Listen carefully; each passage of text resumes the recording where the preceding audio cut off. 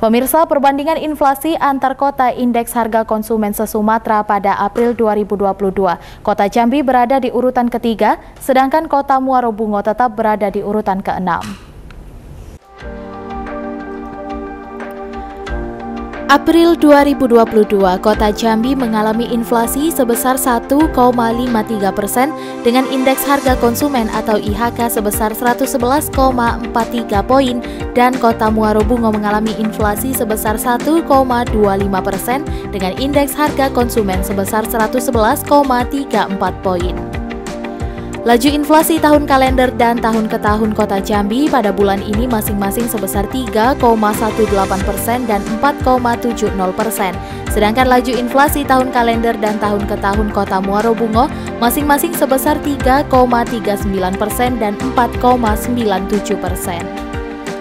Kepala BPS Provinsi Jambi Agus Sudibyo memaparkan, gabungan Kota Jambi dan Kota Muaro Bungo pada April 2022 dengan inflasi sebesar 1,50 persen.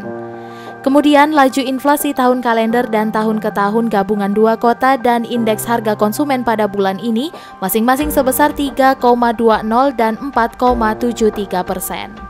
Di bulan April 2022, inflasi gabungan Provinsi Jambi yang meliputi Kota Jambi dan Muaro Bungo itu sebesar 1,50 secara mantuman atau bulan ke bulan.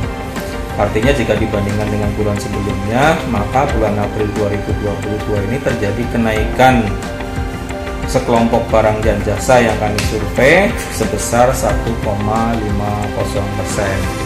Nah, inflasi bulan ke bulan berdampak terhadap inflasi tahun kalender 3,20% dan inflasi year on year-nya 4,73.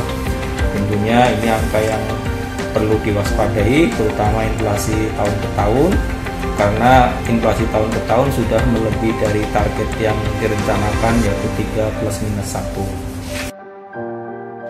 Sedangkan perbandingan inflasi antar kota dari 24 kota indeks harga konsumen se-Sumatera seluruhnya mengalami inflasi. Dalam hal tersebut, kota Jambi berada di urutan ketiga. Urutan pertama dan kedua diduduki oleh kota Tanjung Pandan dan Pangkal Pinang.